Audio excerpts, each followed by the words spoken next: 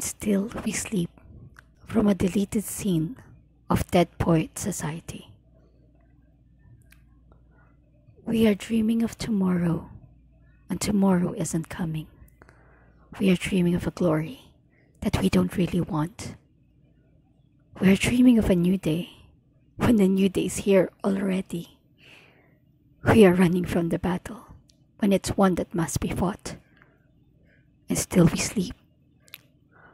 We are listening for the calling, but never really heeding, hoping for the future when the future's only plans, dreaming of the wisdom that we are dodging daily, praying for a savior when salvation's in our hands, and still we sleep, still we dream, and still we pray, and still we fear, and still we sleep.